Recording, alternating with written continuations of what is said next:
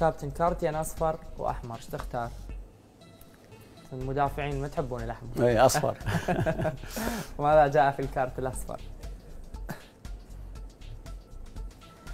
في مباراة الشرطة والكرخ عندما خرج نشأة أكرم غاضبا من المباراة نتيجة تبديل الكابتن عبد الإله ماذا حصل بينك وبين المايسترو؟ يعني من انتقلت للشرطة؟ إنه كانت علاقتي جدا قوية مع نشأت وياخذ بنصيحة الرجل. كان صديق مقرب له صديق مقرب إيه، ولحد اللحظة. تصرف تصرف خطأ بفالينه نادي الشرطة وتاريخ شمرة. نادي الشرطة. شمره وراد يشقه بعد التبديل. بعد التبديل لأنه هو ما بدل اعتباطا لأنه نادي الكرخ نادي نشأت كان بهاي الفترة ذكر لعب مميزة. مان وياه فارس عبد الستار شقيق الدكتور مازن عبد الستار. إيه. لا العفو مو فارس. أكو لاعب بالكرخ اسمه فراس. لاعب ارتكاز فلعب ويا مان تمان نش نشأت آه، ضرب هذا اللاعب وأخذ انذار.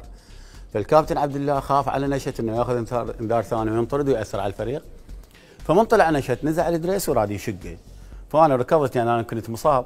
أخذته ودخلته بال- بالمنزع وهديته و- وبقته يعني الحمد لله الله وفقنا إنه نتلاقى نشأت كان شاب في بداياته شاب، إيه، بال يكون- 2001 يكون 2002. يسمع النصيحة من أحمد يسمع لا كان من عندي. لحد اليوم من عندي يسمع لحد حلو. هذه اللحظة من من عندي يسمع لأنه ما عندي شيء أنا نصح لمصلحته هو فبالتالي استجاب لي الرجل واعتذر ثاني يوم يمكن مع من الكابتن عبد الله. هو في وقتها نشأت كان كان مصيره الكروي مهدد كابتن لأنه متعاقب من الشرطة يبعد من المنتخب. هو صدرت العقوبة كان حجي اصيل رئيس النادي. صدرت العقوبة. صدرت العقوبة وخابرني حجي اصيل يعني بوقتها. كان هو لاعب منتخب أولمبي ومنتخب بطلي أولمبي، نعم. ورحت لنادي الشرطة كان موجود حجي اصيل قال لي تجي وحدك. رحت شوفنا هاي العقوبة. قلت له بس اعطيني مهلة نص ساعة.